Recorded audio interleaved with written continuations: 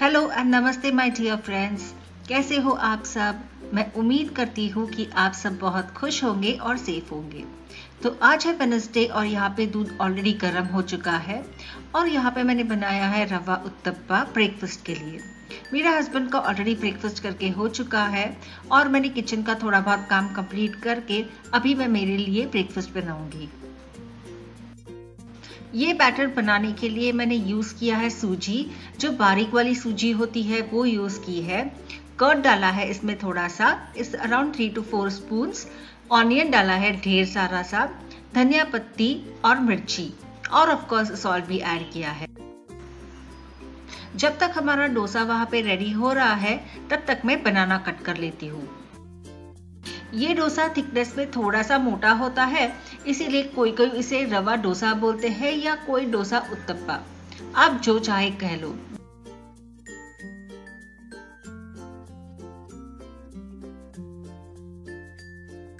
तो यहाँ पे मेरा यमी सा ब्रेकफास्ट रेडी है। यहाँ पे है रवा उत्तप्पा, जो अभी हमने बनाया था। केला कट किया है। सॉस के साथ मैं डोसा एंजॉय करूँगी। और हाफ़ कप मिल्क आज चाय पीने का मन नहीं था तो आज मैंने मिल्क ले लिया। तो मैं मेक श्योर करती हूँ, दिन में एटलीस्ट हाफ़ ग्लास मिल्क ज़रूर पीऊँ कभी कभी सुबह पी लेती हूँ या कभी कभी रात को।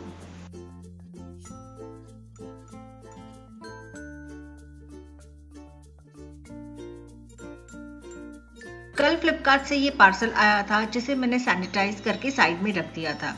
तो चलो आज इसे ओपन करते हैं।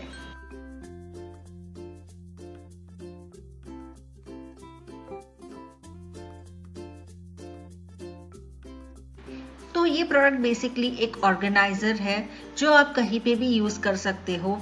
आपके किचन में बेडरूम में कबर्ड्स में, कहीं पे भी जहाँ पे आपको सामान ऑर्गेनाइज करके रखना हो। इसमें हम शेल्फ के ऊपर और नीचे दोनों जगह सामान रख सकते हैं, ताकि हमारी स्पेस सेव हो जाए। मैंने ये प्रोडक्ट मेरे किचन के लिए मंगवाया था बेसिकली किचन कवर्ड्स में मग्स रखने के लिए। लेकिन इसकी साइज़ बहुत ज़्यादा छोटी है। इतनी ज़्यादा छोटी है कि मेरे जो मग्स है, वो भी इसमें शायद फिट नहीं होंगे। चलो टेस्ट करके देखते हैं। ये वाला जो टी बग है, वो इसके अंदर फिट हो रहा है बट निकालने में और रखने में बहुत ज़्यादा इजी नहीं है, थोड़ा डिफ़िकल्ट हो रहा है, और जो दूसरा मग है, वो बिल्कुल अंदर नहीं जा रहा है। इसमें ये कटोरी बहुत इजीली फिट हो रही है। तो अगर आपको बहुत छोटा छोटा सा सामान रखना है then it is really good इसकी क्वालिटी अगर देखने जाए तो काफ़ी अच्छी है बट इसकी size is a big problem बहुत ज़्यादा छोटी है। तो ये ऑर्गेनाइजर मुझे रिटर्न करना पड़ेगा सिंस जो पर्पज से मैंने खरीदा था, वो तो अचीव नहीं हो सकता। और इसकी कहीं और भी जगह पे यूज़ नहीं है मेरे घर में। तो चलो देखते हैं दूसरा प्रोडक्ट अभी क्या है। तो ये प्रोडक्ट मुझे इस तरह से पैकिंग करके आया है। ये जो पाउच है, इसके अंदर एयर होनी चाहिए थी, जिससे हमारे प्रोडक्ट को कुशन मिलता है, लेकिन इसमें एयर ही नहीं है। बट इट्स ओके क्योंकि हमारा जो प्रोडक्ट है, वो बहुत स्टर्डी है और कुछ डेलिकेट नहीं है। इनकेस ये कुछ डेलिकेट प्रोडक्ट होता तो शायद डैमेज हो सकता था। तो बेसिकली ये बर्तन धोने की पाउडर है, जो हम डिश वॉशर में यूज़ करते हैं। मेरी डिश वॉशिंग की पाउडर खत्म हो गई थी और अमेजोन में काफ़ी टाइम से अवेलेबल नहीं थी, लेकिन फाइनली अभी अवेलेबल हो गई है तो हमने इंस्टेंटली ऑर्डर कर दी है। पिछले दो साल से मैं डिश वॉशर में यही ब्रांड की पाउडर यूज़ कर रही हूँ और इससे बर्तन बहुत अच्छे से साफ़ होते हैं और बहुत अच्छी शाइन देते हैं। तो I always stick to this brand dishwasher के ऊपर मैं एक अलग से डेमो व्लॉग ज़रूर बनाऊँगी तो आप वो ज़रूर देखना इनकेस अगर आप इंटरेस्टेड हो to find out how I use the dishwasher उसके क्या एडवांटेजेस डिसएडवांटेजेस है। फ्रेंड्स पिछले वीक मुंबई में बहुत ज़्यादा तेज़ बारिश और हवा आई थी तो उसके वजह से मेरा जो पुदीना का प्लांट है वो पूरी तरह से ख़राब हो गया था। तो मैंने क्या किया, मैंने कल जाके पुदीना का पत्ते जो है वो मैंने मार्केट से ख़रीदे थे। तो उसके जो पत्ते हैं वो मैंने सारे निकाल के फ्रिज में रख दिए हैं, उसकी चटनी वगैरह कुछ बनाऊँगी। और ये जो डंडिया है, उसके जो छोटे छोटे पत्ते हैं वो मैंने वैसे ही रखे थे। जो बड़े वाले पत्ते थे, उसे निकाल दिया था और इसे मैंने रात भर एक ग्लास में पानी डाल के रख दिया था। तो अभी मॉर्निंग में उसे मैं मिट्टी में लगा दूँगी। मैंने काफ़ी सारे पुदीना के वीडियोस देखे थे, पहले कैसे लगाना है।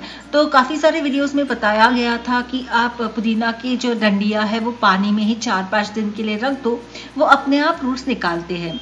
लेकिन this method never work for me मैंने तीन, चार बार ट्राई किए। मेरी मम्मी ने भी ट्राई किया था but it didn't work out the best way is आप उसे मिट्टी में ही लगा दो। ये इमीडिएटली ग्रो करना शुरू करते हैं। विद इन वन वीक आपको इसके रिज़ल्ट दिखने मिलेंगे। अगर आपके घर पे धूप आती हो तो आप इसे धूप में ज़रूर रखना। ये बहुत फास्ट ग्रो करता है।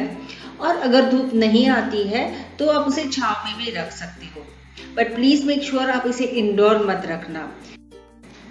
पुदीना का प्लांट बहुत ज़्यादा बड़ा ग्रो नहीं होता तो आप इसे छोटे पॉट में भी लगा सकते हो। ये इसकी एडवांटेज है। और अगर आप वाइड पॉट में लगाओगे, जैसे मैंने लगाया है तो उसका डबल बेनिफिट होगा। वो बहुत जल्दी से मल्टीप्लाई हो जाता है। ये प्लांट बहुत इजी टू ग्रो है और उसे कुछ मेंटेनेंस की ज़्यादा ज़रूरत नहीं होती। आप तीन चार महीने में एक बार थोड़ी सी खाद डाल दो, काफ़ी हो जाती है और ये अपने आप फैलते जाता है। तो ये प्लांट के जो अपडेट्स होंगे, मैं आपको एवरी टेन डेज़ में किसी व्लॉग में ज़रूर ऐड करूँगी। तो इनकेस आप वो देखना चाहो तो चैनल को सब्सक्राइब ज़रूर करना।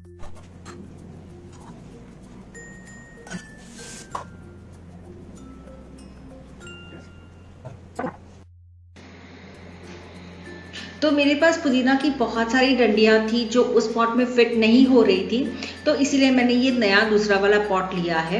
इसमें जो मिट्टी थी वो थोड़ी सी ड्राई हो गई थी तो इसीलिए मैंने इसमें थोड़ा सा पानी डाला है। बहुत ज़्यादा पानी नहीं डालना रीपॉटिंग के टाइम अदरवाइज़ मिट्टी बहुत चिकनी चिकनी और यू नो सब जगह से फैल जाती है और बहुत चिकना चिकना हो जाता है।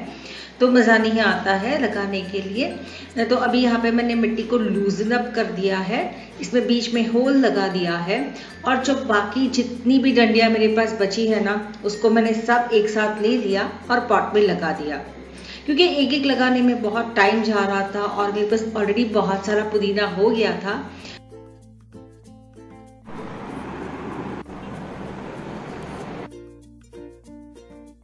तो सारे प्लांट्स को हम उसकी जगह पे अभी वापस रख देंगे। तो let them enjoy in their own home और ये जो शेल्फ्स है, मैंने नए ही लगाए हैं प्लांट्स रखने के लिए, ताकि जो नीचे की फ्लोर स्पेस है, वो खाली रहती है और क्लीनिंग के लिए बहुत आसान हो जाता है। तो ये जो तीसरा वाला पॉट है, वो अभी भी एम है। इसमें नया प्लांट्स जल्दी ही आने वाला है और ये हैंड पेंटेड पॉट है। ये जो स्पाइडर प्लांट है, ये मैंने रिपोर्ट किया था। मतलब मेरे पास ऑलरेडी एक मास्टर स्पाइडर प्लांट है। उसमें जो नए नए बेबी स्पाइडर प्लांट्स आए थे, उससे मैंने ये लगाया है। और ये है जेड प्लांट फ्रेंड्स अगर आपको ये वीडियो थोड़ा सा भी अच्छा लगा हो तो प्लीज़ वीडियो को लाइक ज़रूर करके मुझे सपोर्ट करना। और अगर आप मेरे नए नए वीडियोस भी देखना चाहोगे तो चैनल को सब्सक्राइब भी करना।